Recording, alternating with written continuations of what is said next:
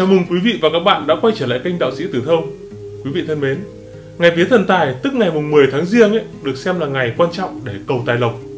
Chúng ta đã không còn xa lạ với thần tài, vị thần được coi là quản về tài lộc và may mắn trong nhân gian. Đặc biệt là đối với các hộ kinh doanh, buôn bán thì cái việc thờ cúng thần tài hàng ngày lại được thực hiện thường xuyên quanh năm. Hầu như buổi sáng nào thì cũng có cái nghi lễ là thờ thần tài để có một ngày buôn vay bán đắt, tiền bạc, tài lộc dồi dào như nước. Theo quan niệm của dân gian ấy, thì ngày mùng 10 tháng Giêng hàng năm được coi là ngày vía thần tài là một cái dịp vô cùng quan trọng, vô cùng đặc biệt để cầu tài lộc tốt nhất trong năm. À, vào ngày này nếu gia chủ biết mà làm đúng thì tài lộc, tiền bạc cứ ùn ùn kéo vào nhà.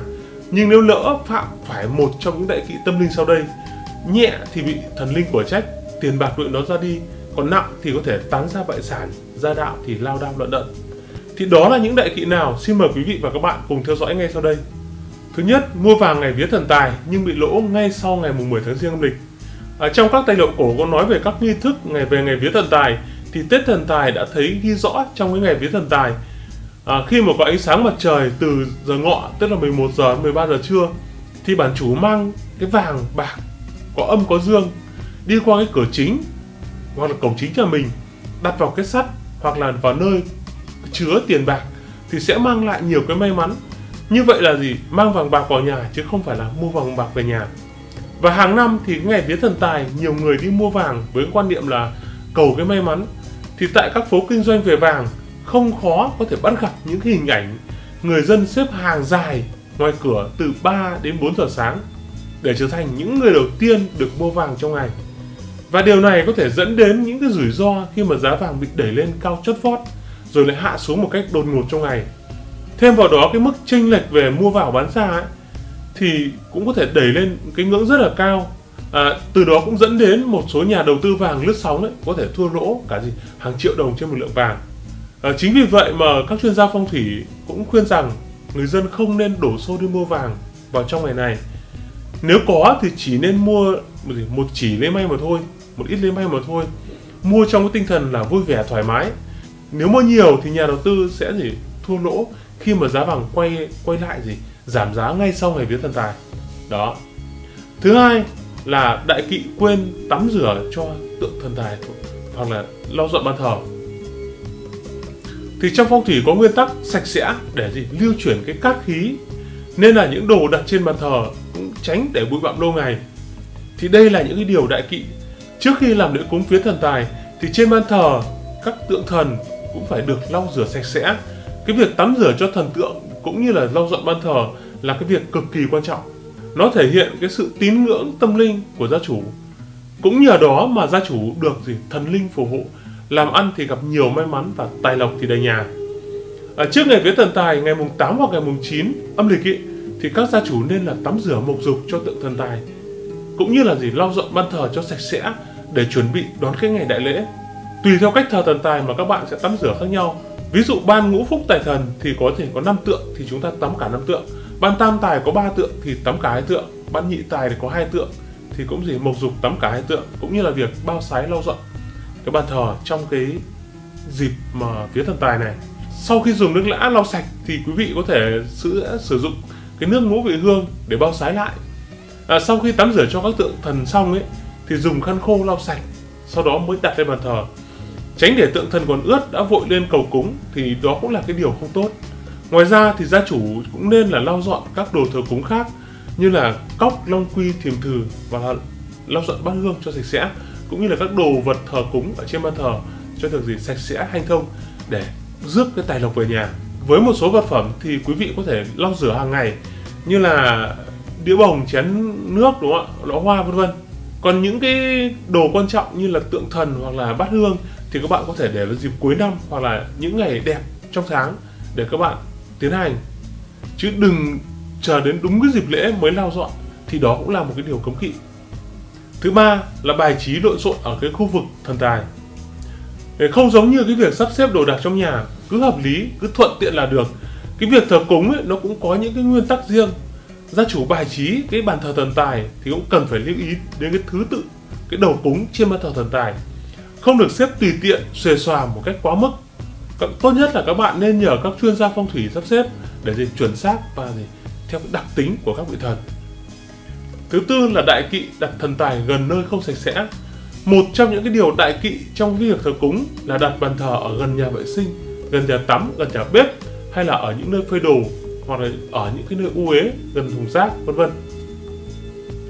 Nếu nhà cửa chật hẹp ấy, không có nhiều nơi để lựa chọn thì chỉ cần chọn cái nơi sạch sẽ nhất, trang trọng nhất, tôn nghiêm nhất trong nhà, đặt cái vị trí ban thờ thần tài là được.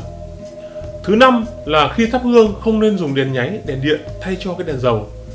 Thì ngày nay có nhiều cái đồ thờ cúng thay đổi để phù hợp với cái thời đại, nhưng gia chủ cũng kiêng trong cái ngày cúng vía thần tài ngày mùng 10 tháng riêng ấy, dùng đèn nháy hoặc là đèn điện thay cho thay cho đèn dầu hoặc nến.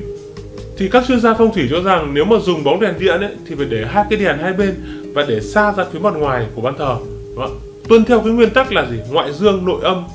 Vì bóng đèn điện hay là đèn nháy thì quá gần thần tượng cũng như là gần bàn thờ gần bát hương ấy thì có thể nó sinh ra những cái trường năng lượng không tốt. Và khi mà có đủ đèn điện rồi thì các bạn trong ngày cúng lễ vía thần tài ngày mùng 10 tháng riêng ấy, thì cũng cần phải có gì? Hai cây nến hai bên hoặc là quý vị có thể thắp đèn dầu để gì? Nó đúng chuẩn cái phong thủy thứ sáu là đại kỵ đúng cái ngày vía thần tài lại để thỉnh thần nhập tượng hay là gì? Nạp cốt cho bát hương. Ở trong ngày vía thần tài thì không nên thỉnh thần nhập tượng hay là thỉnh thần nhập cốt bát hương. Theo các chuyên gia phong thủy thì làm như vậy sẽ khiến cho cái việc làm ăn của gia chủ sẽ kém về xuân sẻ thiếu may mắn.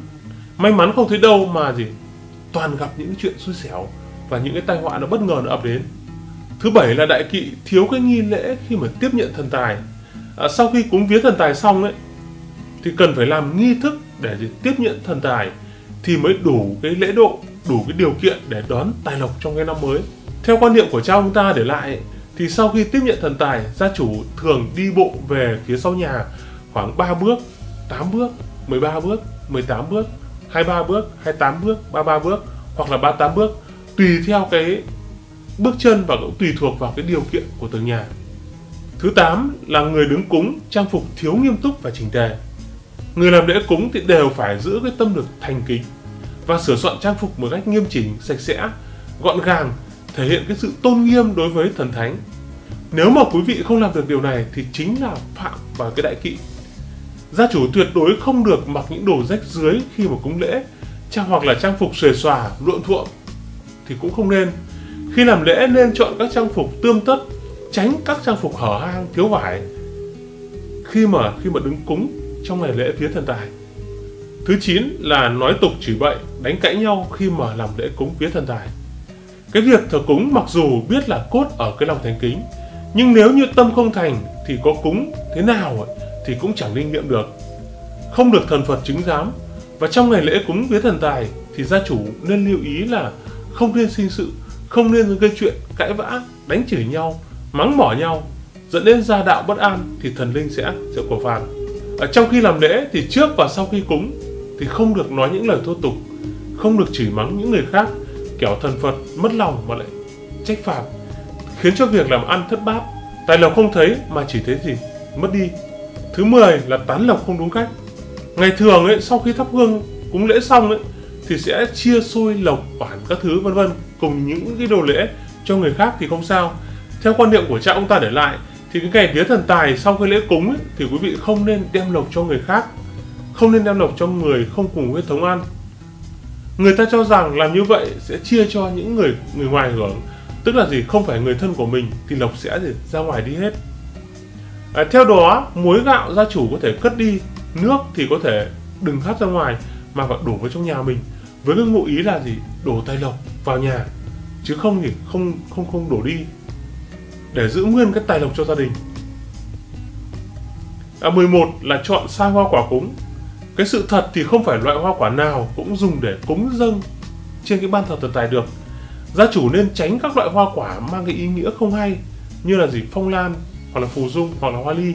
Đấy. và tuyệt đối không được để hoa quả héo trên bàn thờ. Bên cạnh đó thì cũng tránh các loại hoa giả. Theo các chuyên gia phong thủy thì bình hoa nên được đặt ở phía bên phải của ban thờ thần tài bên trái thì đặt mâm ngũ quả đặc biệt là gia chủ nên chọn các loại hoa vượng cho cái tài lộc và vượng cho cái sự may mắn như là hoa đồng tiền hoa hồng hoa cúc vân vân đó 12 là thiếu đồ cúng. Một trong những cấm kỵ trong quá trình thờ cúng thần tài là chuẩn bị thiếu cái đồ lễ. Thực tế có rất nhiều cái vật phẩm phong thủy cũng cần phải chuẩn bị như là hũ muối, hũ gạo, hũ nước, bùa cầu may mắn hoặc là gương bảy vị vân vân. Cũng như là các đồ thờ cúng trong ngày lễ vía thần tài. Cái việc mà sắm lễ chưa đúng ấy, chưa đủ có thể dẫn đến cái tài lộc bị thất thoát, bị thất thường. Tốt nhất gia chủ nên tham khảo các nguồn đáng tin cậy trước khi mà chuẩn bị cái đồ cúng cái ngày vía thần tài. Thứ 13 là sắp xếp cóc thiềm thừ sai cách.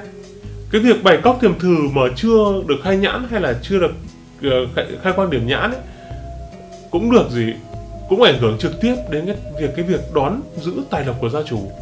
Khi mà sắp xếp cóc lên ban thờ thần tài thổ địa thì gia chủ đặt cái góc hướng vào trong cái phía bát hương mang cái ý nghĩa là nhả tài lộc vào cho gia chủ. Tuyệt đối không sáng đặt góc quay ra và tối đặt góc quay vào. Đó là quan niệm hoàn toàn sai lầm của một số người. Quý vị cần phải lưu ý. À, thưa quý vị trên đây là toàn bộ những cái sai lầm tuyệt mệnh trong ngày vía thần tài sẽ khiến cho gia chủ gặp những cái xui xẻo đeo bám cả năm thậm chí là gì? Nghèo mặt kiếp. Hy vọng qua những cái thông tin mà tôi vừa chia sẻ thì sẽ giúp phần nào quý vị và các bạn có thêm những cái kiến thức để làm sao cho ngày vía thần tài, ngày 10 tháng riêng được trọn vẹn mà không phạm phải những cái điều đại kỵ. Cảm ơn quý vị và các bạn đã quan tâm theo dõi. Quý vị đừng quên đăng ký kênh và nhấn vào chuông thông báo để ủng hộ cho chương trình. Còn bây giờ xin chào và hẹn gặp lại quý vị ở các video tiếp theo. Xin cảm ơn.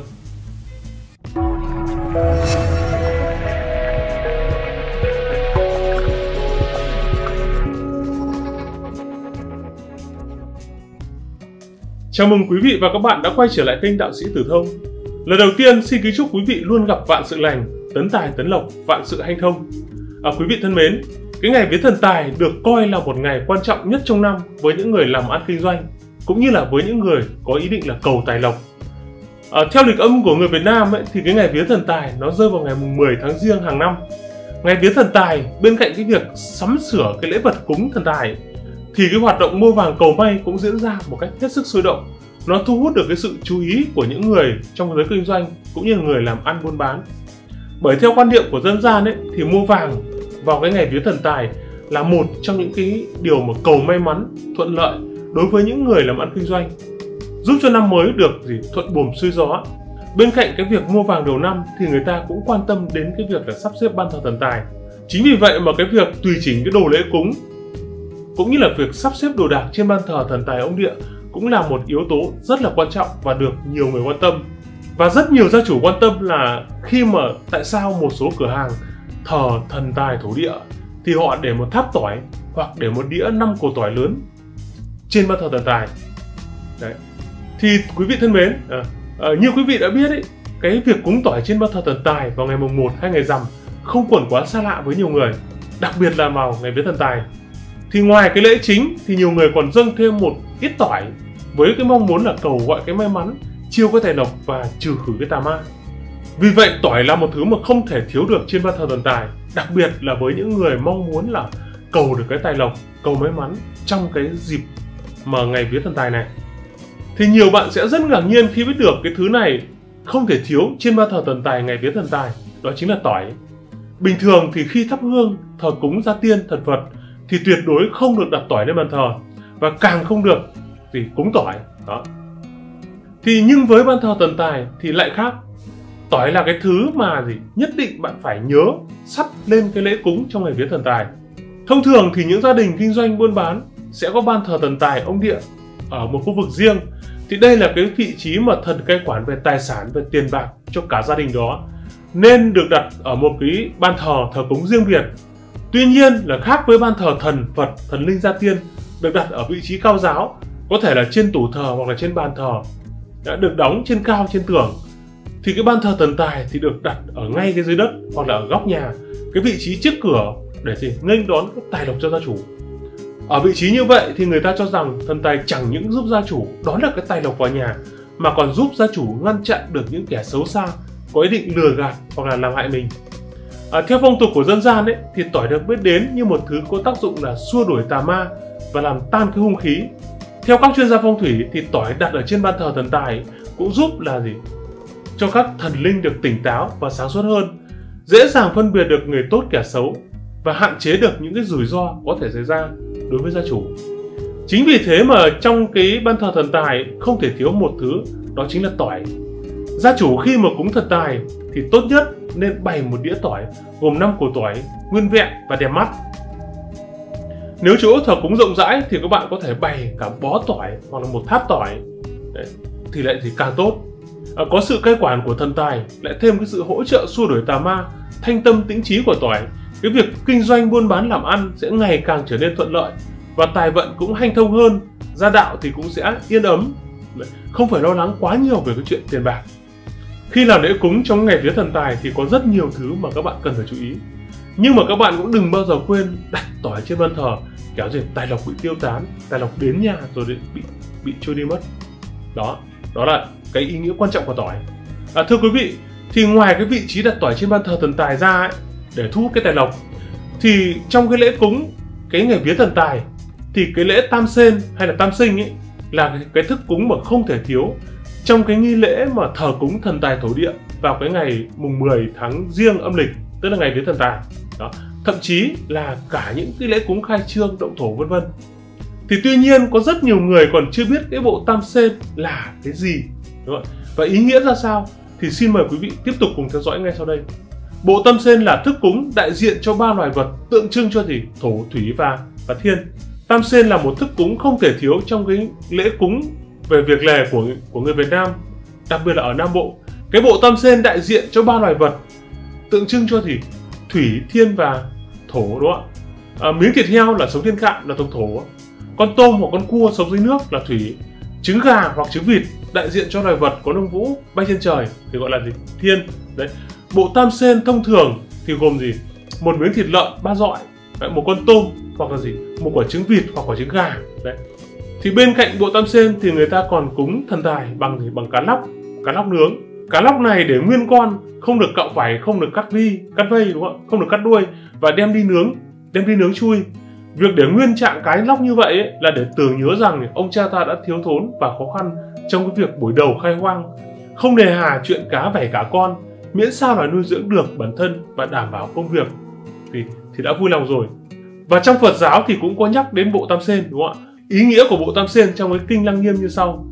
Thì ngoài ra cái bộ tam sen trong kinh lăng nghiêm ấy còn có một ý nghĩa khác. Đức phật chia chúng sinh ra làm 12 loài đúng không ạ? Loài sinh từ trứng tức là noãn sinh. Loài sinh bằng thai tức là thai sinh. Loài sinh ở dưới đất do ẩm thấp như là côn trùng ấy, thì gọi là thấp sinh. Loài bỏ bản chất cũ mà sinh ra cái hình dạng mới như bông lúa hóa sâu gạo hóa ngọt hoặc là gì? Có mục hóa gì? Hóa đom đóm. Gọi là gì? Hỏa sinh. Loài có sắc thì gọi là gì? Hình tướng chữ tam sen theo dân gian truyền lại nó còn bắt đầu từ gọi gì? Tam sinh bao gồm biểu tượng của thai sinh loãng sinh và thấp sinh. Ngày nay thì nhiều nhà có cúng thêm cá nướng và cua gọi là thấp sinh ấy và còn tùy thuộc vào điều kiện kinh tế mà cái mâm cỗ thì đầy đặn thì gồm thêm những cái, cái lễ vật khác nhau. Tiếp theo chúng ta cùng tìm hiểu là cái bộ tam sen thì dùng trong cái lễ cúng nào. Cái lễ tam sen thì sẽ dùng ngay cả trong cái lễ cúng thánh thần. Cúng thổ thần cúng động thổ cúng thần tài. Nhân cái ngày lễ, gọi là lễ vía thần tài. Thì cụ thể như sau. Cúng thần thánh thường cúng trong các ngày vía thần tài vào ngày mùng 10 tháng riêng Đấy. cúng thổ thần, cúng động thổ, thì hoặc là cúng mâm khai trương trong các cửa hàng. Một mâm cỗ sẽ được chuẩn bị một miếng thịt, hoặc là một vài con tôm, hoặc một vài con cua, một quả trứng luộc. Thì tuy nhiên, tùy theo cái phong tục của vùng miền mà cái mâm cỗ tam sen nó sẽ có những điều khác nhau. Ví dụ như ở huế thì người dân sẽ cúng môi hay là mép bò rồi trường, lưỡi heo. Còn ở miền nam thì họ thường cúng gì? Thêm cá lóc. Thổ địa thần tài là một trong những cái vị thần dân gian được người dân thờ cúng với mong muốn là cầu được cái bình an và cầu được cái tài lộc sung túc. Không giống như các vị thần khác phải đặt ở trên cao. Cái nơi mà thần tài thổ địa lại thường được đặt ở dưới đất, hướng mặt ra ngoài cửa chính của mỗi gia đình. Và việc cúng thần tài không chỉ là cái nghi thức nhằm cầu tài lộc cho gia đình, mà còn là một cách để tưởng nhớ đến ơn đức của các vị của các vị thần trong dân gian. À, thứ ba là chúng ta cùng tìm hiểu là cái lễ cúng vía thần tài thì gồm những gì? Lễ vật cúng vía thần tài thường bao gồm những thứ sau. Một bộ tam sen bao gồm những thứ sau. Đấy, một miếng thịt ba dọi này ờ, trứng vịt này và một con tôm hay là con cua. Đấy, tất cả là đều đều luộc một bình hoa tươi có thể là hoa cúc hoặc là hoa vạn thọ hoa đồng tiền. Đấy. một mâm ngũ quả năm cây nhang hai cây đèn hai điếu thuốc một đĩa gạo một đĩa muối và ngoài ra thì các bạn cũng thêm có vàng mã là hai miếng đúng không? ạ? tiền vàng mã hai đĩnh và gì? Hai chén nước ba ba chén nước ba chén rượu. Tiền lẻ một đĩa kẹo vậy trầu cau. À, sắm cái lễ cúng thần tài có thể có cá lóc nướng hay lợn quay hoặc là tùy theo cái điều kiện của mỗi gia đình. Mà chúng ta sẽ sắm cái lễ nó để tương tất theo cái cách mà mình muốn. À, trước khi cúng chúng ta phải lau dọn bàn thờ và tránh các con vật như là chó mèo nó quậy phá làm u uế cái ban thờ. Hàng ngày thì thường phải lau ban thờ à, tắm cho các thần tài vào những ngày cuối tháng hoặc những ngày đẹp trong trong tháng bằng nước lá bưởi hoặc là bằng nước ngũ vị hương hoặc là gì? Rượu gừng, đó. Và sau khi tắm xong thì các bạn nên lau sạch thần tài thổ địa, sau đó thì mới đưa lên cúng. Lưu ý là cái khăn để tắm, để lau trên ban thờ thì các bạn không dùng vào việc khác. Khi mà cúng viếng thần tài xong thì quý vị cũng phải cần lưu ý những điều sau thứ nhất là gạo muối thì gạo muối nên cất lại dùng cho có độc không được giải ra ngoài. Vàng mã thì chúng ta nên đốt ở ngoài đúng không ạ? Rượu hay nước cúng thì nên đứng ở ngoài để tưới vào trong nhà với cái ý nghĩa là đem lại cái tài lộc cho gia đình. Cái bộ tam sen hay là bánh trái thì chia nhau cho những người trong gia đình dùng và không cho người ngoài. À, thưa quý vị như vậy là tôi đã vừa chia sẻ cho quý vị và các bạn về để tỏi trên ban thờ thế nào để có được cái tài lộc. Thứ hai là cái bộ sắm bộ tam sen như thế nào đúng không ạ? Và sắm lễ chiêng trong ngày vía thần tài như thế nào để thâu thu được cái tài lộc trong ngày vía thần tài. Cảm ơn quý vị và các bạn đã quan tâm theo dõi. Quý vị đừng quên đăng ký kênh và nhấn vào chuông thông báo để ủng hộ cho chương trình. Còn bây giờ xin chào và hẹn gặp lại quý vị ở các video tiếp theo. Xin cảm ơn.